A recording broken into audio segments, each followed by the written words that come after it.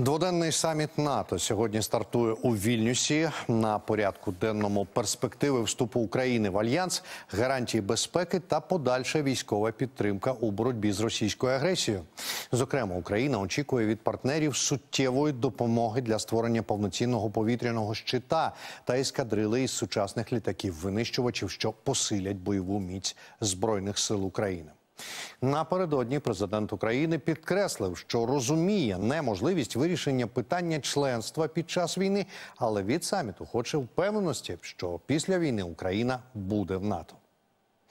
Ну а на саміті в НАТО у Вільнюсі працює наша спеціальна кореспондентка Тетяна Логунова. Розпитаємо в неї про останні новини із саміту. Ну і про очікування української сторони від зустрічі. Тетяно, вітаю і, будь ласка, розкажи, що відбувається, які зведення є. Вітаю так. Справді ми у Вільнюсі і чекаємо на офіційне на офіційний початок саміту, який стане історичним незалежно від його результатів. Мені дуже подобається формулювання, яке підібрав міністр закордонних справ Литви. І я залюбки його повторю. Ця зустріч лідерів альянсу буде історичною або за досягненнями, або за втраченими можливостями. Але про все по порядку. Отже, лідери країн альянсу, включно із президентом США Джо Байденом, вже у Вільнюсі за 2-3 години тут у конгрес-центрі Літекспо власне і розпочнеться зустріч.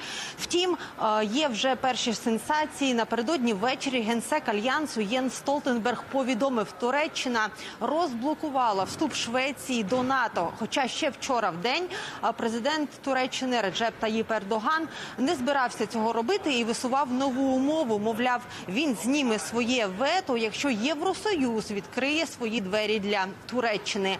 Як союзникам вдалося вмовити турецького лідера, поки не зрозуміло, але головне результат. Давайте послухаємо, що з цього приводу сказав Єн Столтенберг. Я щойно провів конструктивну зустріч із президентом Туреччини і прем'єр-міністром Швеції і радий оголосити, що президент Ердоган погодився направити протокол про ратифікацію вступу Швеції в НАТО до парламенту якнайшвидше і співпрацювати з парламентом, щоб гарантувати його схвалення.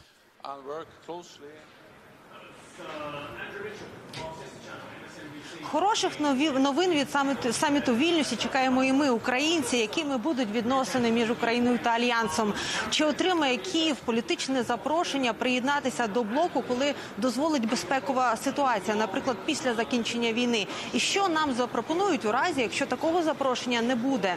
Відповіді на усі ці питання лідери країн альянсу шукатимуть упродовж двох днів. Єдиної позиції поки немає. Рішення ухвалюватимуть з колес. Всі союзники згодні з тим, що Україна стане членом альянсу. І я впевнений, що саміт ухвалить рішення, які будуть сильними та позитивними для України. Коли настане час запросити Україну стати повноправним членом, вирішуватимуть українці та союзники по НАТО. Найактуальнішими завданнями зараз забезпечення того, щоб Україна перемогла як суверенна та незалежна держава.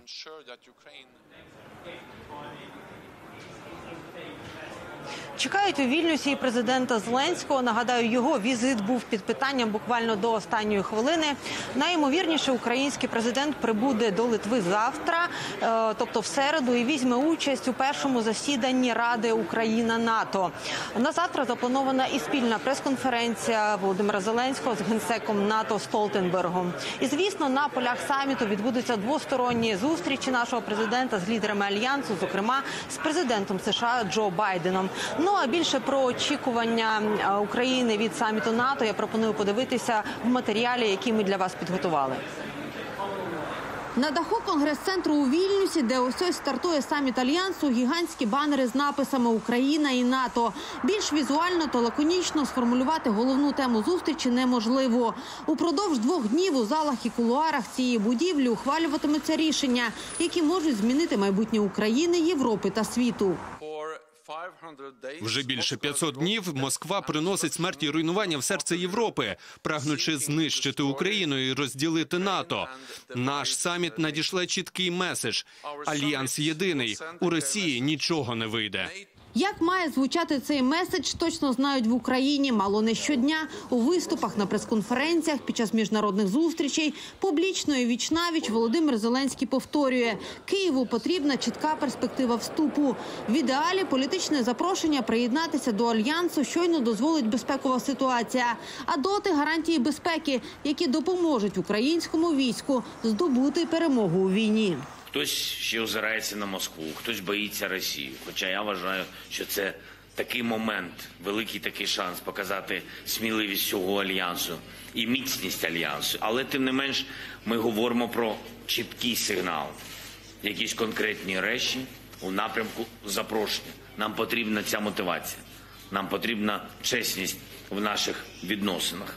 Заявку на вступ до НАТО за пришвидшеною процедурою Україна подала у вересні минулого року. Відтоді євроатлантичні прагнення України письмово у формі декларацій підтримали 23 країни Північно-Атлантичного альянсу. За навіть Франція, яка традиційно займала скептичну позицію у цьому питанні, і Туреччина, яка вперто не пускає до блоку Швецію.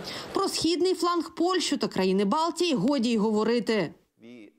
Ми всі розуміємо, що зараз, перебуваючи в розпалі війни, Україна не може одразу вступити в НАТО. Ми розуміємо, що українці це розуміють, але потрібно просто створити коридор, процедури, алгоритм, як діяти, коли війна закінчиться. Сильне формулювання щодо перспективи України підвищить бойовий дух українських солдатів на полі бою, і це дуже важливий фактор. Україна чека на Україна чекає сигналу про чітку перспективу членства в північно-атлантичному альянсі.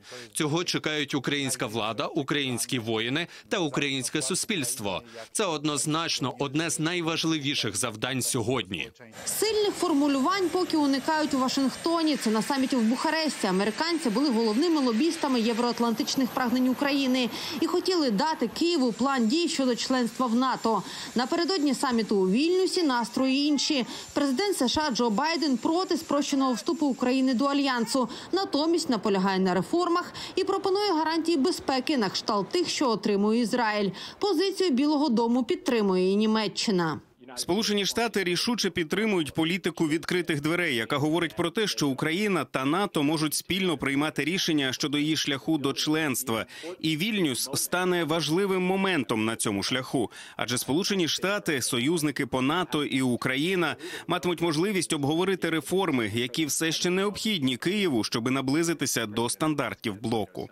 Що отримає Україна у Вільнюсі? Запрошення з відкритою датою, якусь дорожню карту приєднання до блоку, чи навіть чергове запевнення про відкриті двері, поки сказати важко. Так само, як і спрогнозувати, якими будуть обіцяні гарантії безпеки.